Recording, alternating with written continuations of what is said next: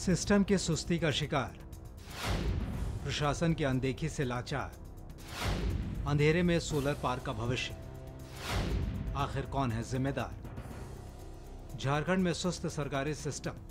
किस कदर जनता के पैसे की बर्बादी और योजनाओं को पलीता लगाने में जुटा है? इसकी बानगी नज़र आती है। रांची में मुख्यमंत्री आवास के ठीक पीछे। सिद्धो कानो सोलर पार्क में। जिसका निर्माण चार करोड़ की लागत से लोगों के मनोरंजन करने और सौर ऊर्जा के बारे में बताने के लिए किया गया था। लेकिन एक महत्वाकांक्षी योजना प्रशासनिक लापरवाही की भेंट चढ़ती जा रही है। बात अगर सोलर पार्क की हालत की करें तो एक टॉय ट्रेन पिछले एक साल से खराब पड़ा है। टॉय जीप पिछले एक साल से खराब है। ई स्कूटर और बाइक पिछले तीन साल से खराब है। वाटर म्यूज़ियम भी रख रखाव के अभाव का शिकार है। एक महीने से म्यूजिकल फाउंटेन काम नहीं कर रहा है। सिदो कानो सौर ऊर्जा पार्क में देख रेख का अभाव किस कदर है? सोलर पार्क के कर्मचारी से ही सुनिए।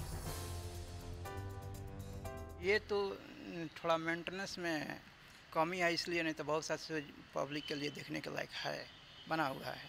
है ना? मेंटेनेंस रहता तो इसमें मनोरंजन का साधन बहुत सी है। है ना?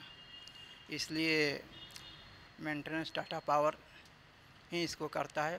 पाँच साल के सी एम सी उसका बाउंड रहता है और इसी बीच में वो अपना आके करता है, नहीं भी करता है, चिट्ठी जाता है तो अब कभी आता है, करता है अधूरा आधा अधूरा करके चला जाता है।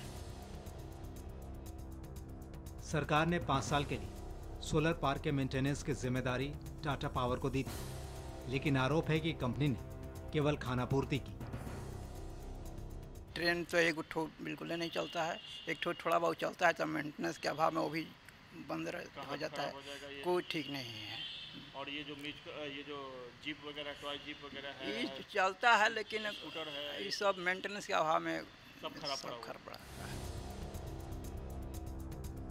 पूरे मामले को लेकर जब झारखंड के नगर विकास मंत्री सीपी सिंह से सवाल पूछा गया तो वे इंफ्रास्ट्रक्चर की कमी का रोना रोने लगे। सीपी सिंह के मुताबिक पार्कों की देखभाल के लिए झार पार्क के गठन को कैबिनेट की मंजूरी दी गई है। और दावा है कि जल्द ही सभी पार्कों की अव्यवस्था दूर कर ली जाएगी। रांची नगर निगम के पास इंफ्रास्ट्रक्चर नहीं होने के कारण, हमारे पास स्टाफ नहीं रहने के कारण, कर्मचारी नहीं रहने के कारण उसका रख रखाव में हम लोग अपने आप को एक तरह से निरीह साबित हो रहे हैं और हम समझते हैं कि अब जल्दी ही झार पार्क उसको टेक ओवर करेगी और टेक ओवर करके वहाँ पर जो भी समस्याएँ हैं उसका समाधान भी करेगी, उसकी देखभाल करेगी। तो इस प्रकार से सिर्फ़ सिद्धू कानू पार्क नहीं, बल्कि झारखंड के अंदर जितने पार्क हैं, रांची में और भी पार्क हम लोगों ने बनाया है, लेकिन हम देख रेख नहीं कर पा रहे हैं। सरकार चाहे लाख दावे करें, लेकिन जनता की गाढ़ी कमाई झारखंड में किस तरह बर्बाद की जा रही? है सोलर एनर्जी पार्क इस कहानी को बयां करता है। झारखंड का पहला और रांची का इकलौता सोलर एनर्जी पार्क आज रख रखाव के अभाव में कबाड़ हो चुका है। ऐसे में सवाल उठता है कि जनता की गाढ़ी कमाई से बनाए गए इस पार्क की इस अवस्था के लिए जिम्मेदार कौन है? कैमरामैन विशाल के साथ Ashutosh Kumar Zee Media Ranchi.